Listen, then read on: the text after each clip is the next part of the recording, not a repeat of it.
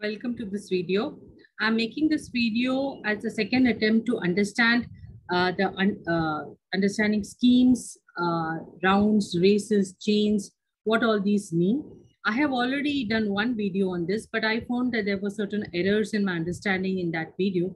So I hope to correct those errors and also explain these concepts a little further.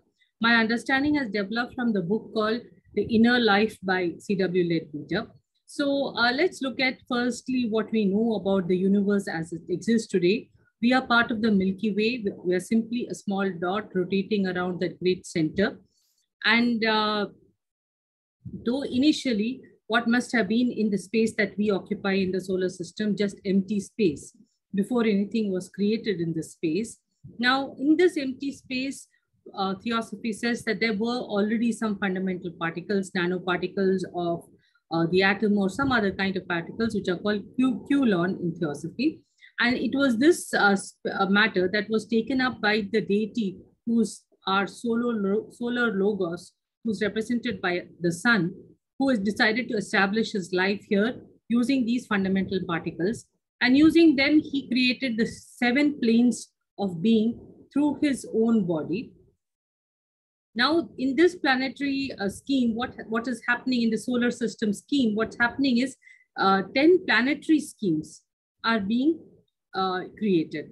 And uh, here you see the sun as the heart of the solar logos. And the entire solar system is the body of the solar logos.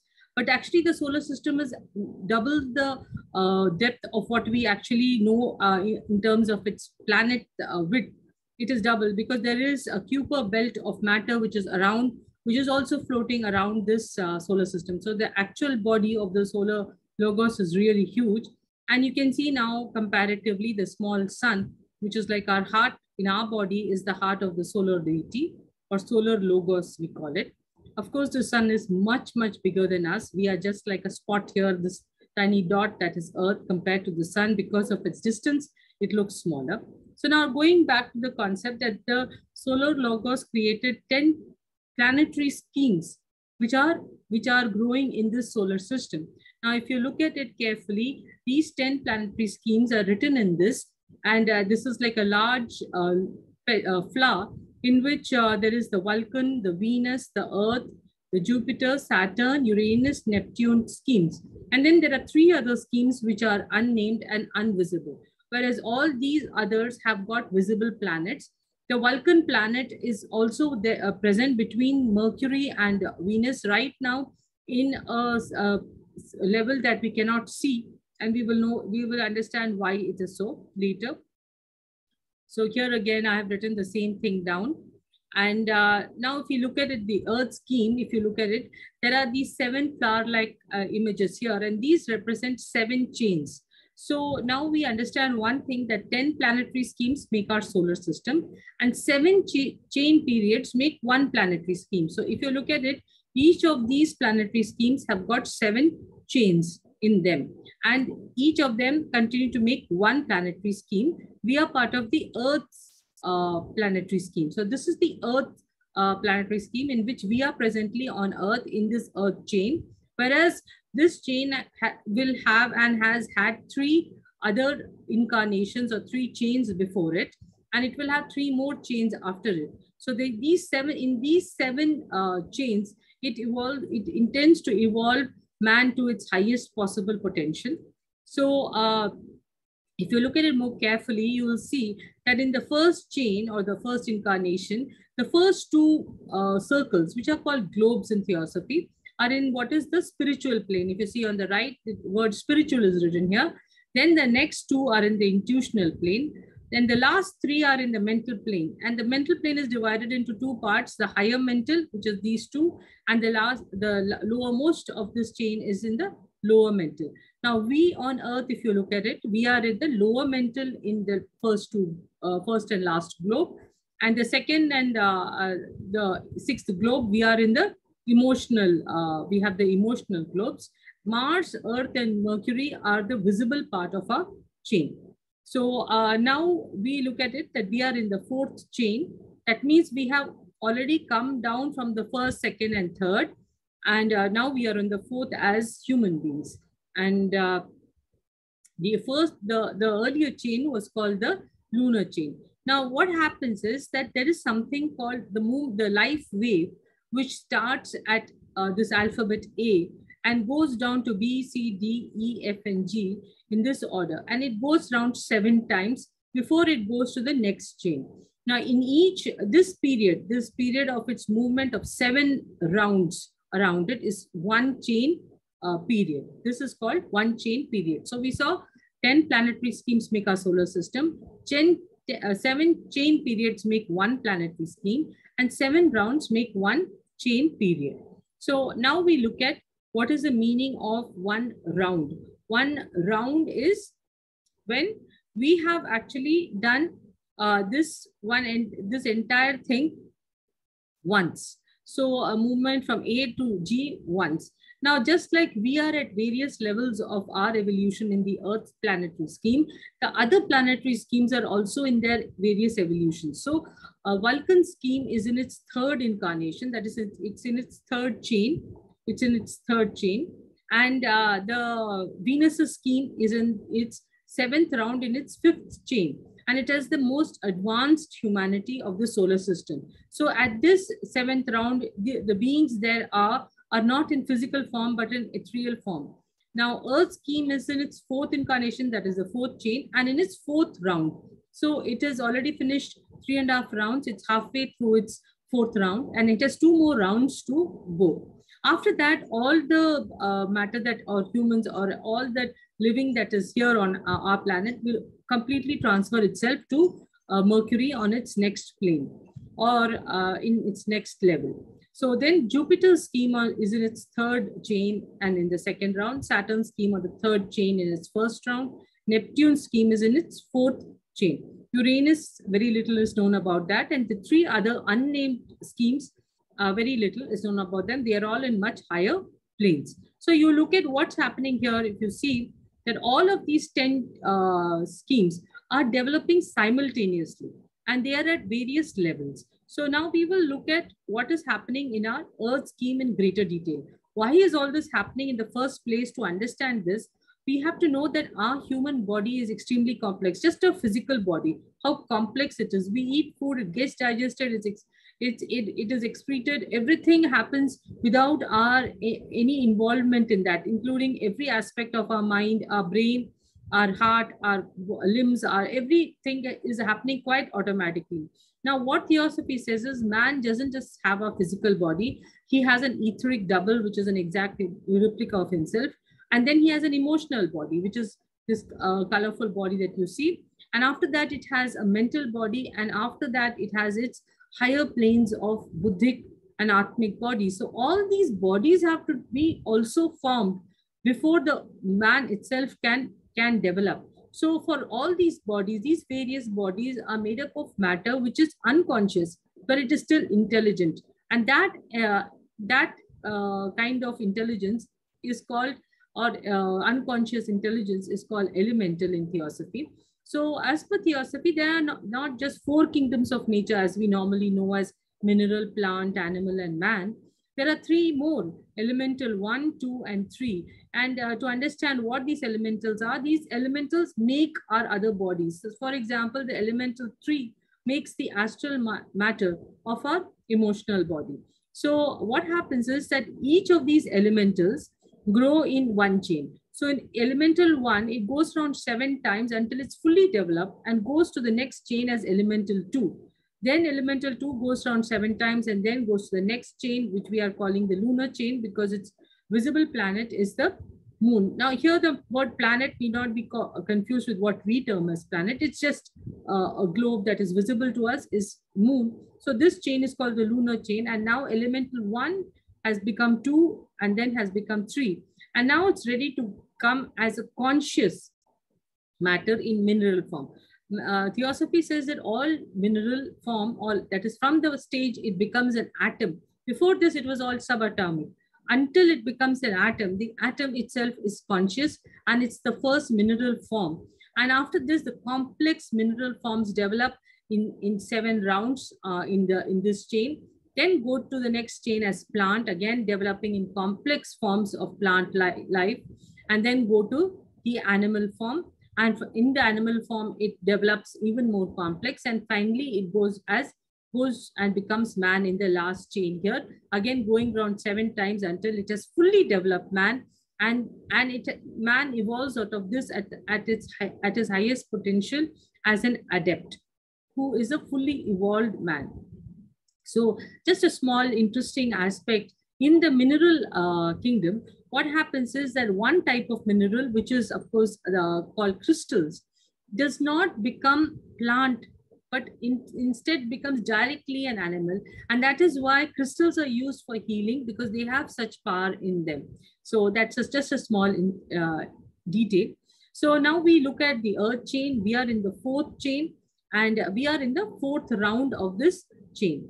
Now, uh, what we have to do is we have to go around this another two and a half times. So in, after we finish our fourth round and start the fifth round, and we are midway, that is again on earth in the fifth round, three-fifths of humanity will have progressed to such an extent that they can become adepts in the future, but two-fifths will not. So those two-fifths will be transferred directly to the fifth chain and will not progress then in the fourth chain. The reason being that the three-fifths who are progressing will be disturbed by the two-fifths because of the, the disturbance that may be caused to their uh, meditations, to their practices, to their, to their higher levels of thinking. The two-fifths who are not yet that progress will be transferred to the next chain, whereas the three-fifths will continue on this earth chain and evolve to become adepts.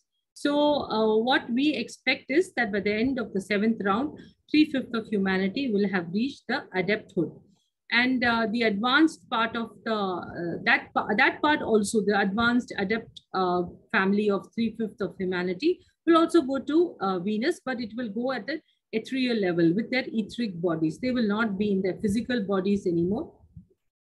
This is explained further in the book Man, Whither, Whence and How by this chart uh, written by Annie Besant and C.W. Leadbeater, in which they explain how this life wave, you see these little arrows, these are life waves. And on the left are the various kingdoms of nature. On the top, on the x-axis are the chains. So the first, second, third, fourth, fifth, sixth, and seventh chain. Now, if you look at it, all of these chains have got uh, matter of all the kingdoms growing in them. So if you look at this, an elemental one in the first chain becomes elemental two in the second chain, three in the third chain, then mineral, vegetable, animal, man, and it comes out as an adept. This flower-like image is of an adept. And uh, what we need to understand here is if there will be some confusion, and this is a matter which had confused me and the error that I had made in my earlier video, which is that we are human here. So we must have been animal in the lunar chain, mineral, uh, plant in the uh, this second chain, and mineral in the first as per this uh, theory. Then when, how did we come to this first chain? Because we already come as mineral that has happened in some other scheme, in some other planetary scheme where we had evolved in elemental one, two, and three. And after that came to this chain. So what's happening is supposing you take this to be any other chain, we may have started as elemental one in the fifth chain, two in the sixth, and uh, three in the seventh chain. But after that, there is no further evolution in this scheme because the scheme is finished.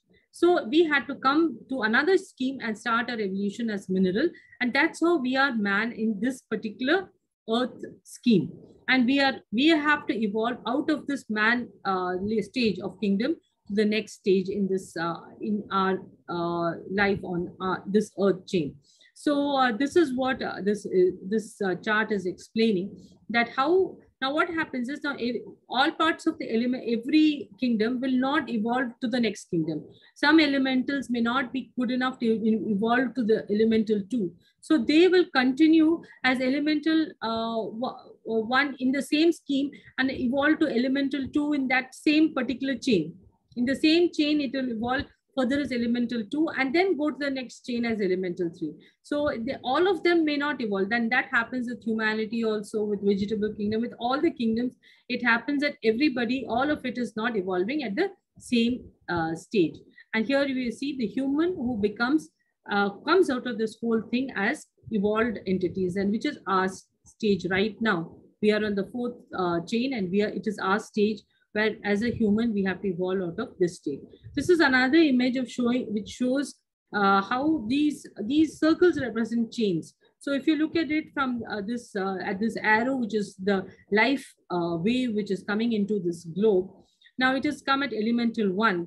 But then what happens is if you follow the blue line, a part of it evolves in, into elemental two, which is the yellow, yellow circle, but a part of it remains blue because it has not evolved yet. So it continues in the same uh, kingdom. So this evolution is explained in this whole thing. And this you see, there is the uh, human who has evolved into adepthood in this also, as also the other seven kingdoms of uh, nature, which is evolving in all these seven chains. So this, this system of seven uh, chains is represented. This is one planetary scheme that is represented in this drawing with each of these uh, being uh, chains.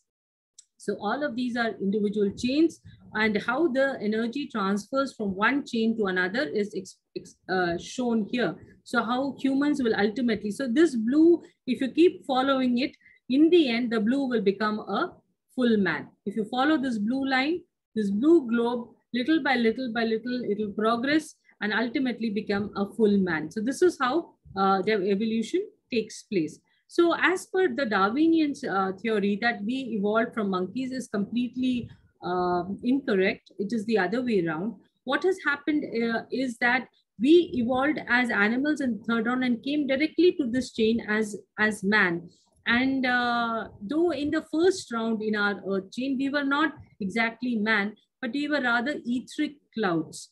So in the first round, the entire uh, each globe, we were just etheric clouds developing further and further.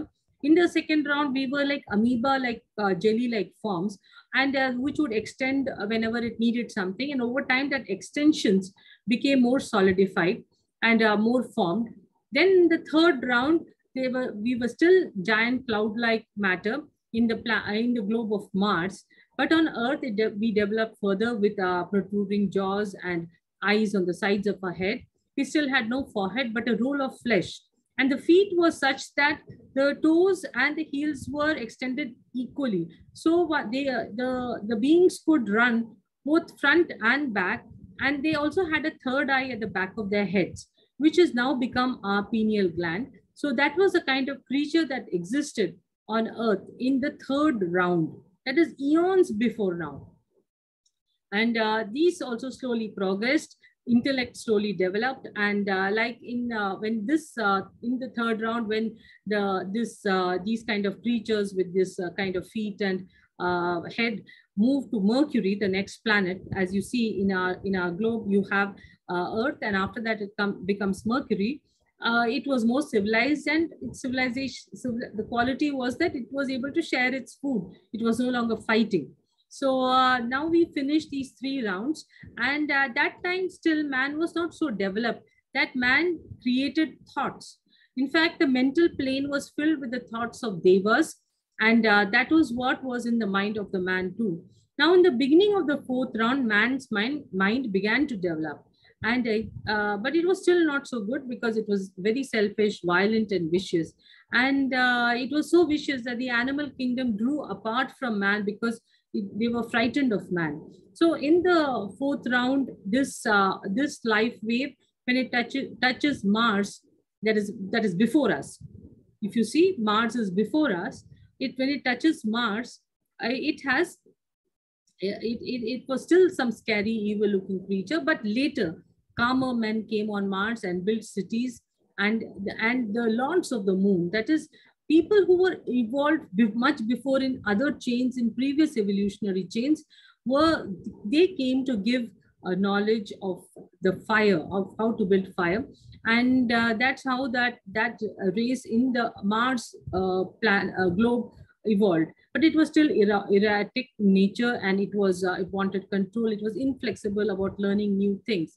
Finally in the seventh race in mars in the in the on the fourth round it became more intellectual, had developed artistic abilities in Mars. It developed the ability to build roads and cities. And it was this uh, life that came to Earth. Now, in Earth itself, it had to continue its development. And this development happens in, the, in root races. What are root races? Root races are a kind of uh, uh, intelligent uh, type of uh, humanity, which is or of being which is evolving. So the first uh, one was Polarian, the second was Hyperborean. Still, they were not completely human in form. In the Lemurian uh, root race was when the first forms took place. And after that came the Atlantean. And we are currently in the Aryan root race. Now, each time this is happening now on Earth. So each time each of these root races were there, the, the constitution of the plan, planet's continents itself was different. So in the case uh, during the period of the Lemurian uh, time, which was again uh, millions of years ago, uh, it was this was the nature of the continent that you see in red, and uh, in the background you see our present continents, which is uh, marked at black in black. So these this red was what was part of what Lemuria, and it was in the Lemurian root race that the separation of the sexes took place. Until then, we were uh, we, we were anthropoid. We had both uh, both sexes in us. Uh, but then in the Lemurian race, the separation of sexes took place. And this itself took a million years to happen. This took place about one and a half crores or 1.6 crore BC years ago, that third root race. It was during this period that the Lords of the Flame, which is the advanced uh, uh, uh, beings from the planet Venus came to Earth, led by Sanat Kumara and his uh, team of people who came down and developed the man uh, mind of man. Now, what happened then is that when they developed the mind of man, some of those men who were still not advanced, they intermingled with animals and produced the monkey or the chimpanzee, the anthropoid form. And that is what we see as uh, monkeys today. And that is why the Darwinian theory is wrong. It was man who created monkeys rather than the other way around, that monkeys from we have evolved from monkeys. It's not that the case. Man came into the earth uh, uh, chain uh, completely de more developed from animal. So in the fifth and sixth, uh, sixth and seventh sub races of the third root race. Now we're talking about the third root race. We are now in the fifth uh, root race. But in the, uh, the fifth, sixth, and seventh sub races, the, th the third in the third root race, they were more human-like in nature, though their heads were like eggs, and they had still had that fleshy foreheads and eyes on top of their heads. So this was the nature of uh, humanity in the third root race.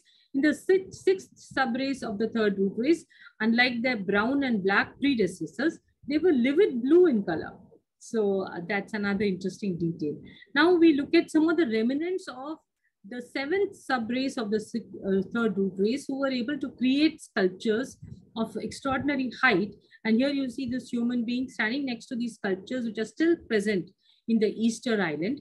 These, these actually, the, the, the, the humanity at that stage had this horse-like face with flat noses and uh, uh, fleshy foreheads, which, uh, which even now uh, some races in Africa have this kind of a kind of features.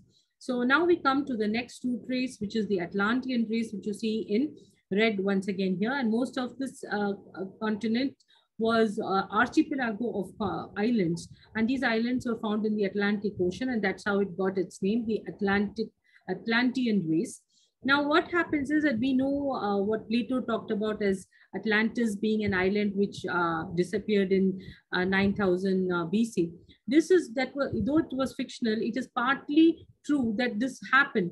But much before that it was atlantean was not uh, just once one island but a very large continent by itself. And uh, and it was also there before all of it separated into the present continental structure that we see. So the atlantean race was much more advanced uh, than the third root race. The atlantean root race was far advanced. It had cities it had it, it had science. It had developed to a very large extent. And uh, this is an artistic image of one of the Atlantean uh, uh, cities, which existed about 3 million years ago, when human beings also were much taller. Uh, the average height starting from 7 feet to even 30, 40, 50 feet high, tall humans existed. Now, all of this, whatever is the Atlantean continent is now under the ocean and over, over that, there are several layers of soil because so much has happened after that, that the remnants of the Atlantean race is very little on earth today. Now, uh, we have heard of these Bamiyan, Bamiyan statues, which are there, which were there in Atla, in uh, Afghanistan until they were destroyed by the Taliban. And uh, they are uh, a series of five very tall statues which were made. And over time, they were decorated to be made to look like the Buddha. So they people thought that they represented Buddha, but actually they are a history of the how humans evolved from such tall entities and how slowly they became smaller and smaller. So the Bamiyan statues are not all of same height. They reduce in height. So that this is a sort of a record of the uh, of humanity. Now I've just uh, made a, a, sort of calculation on how many more birds we would need to take before we uh, finish our uh, present uh, fourth uh, round.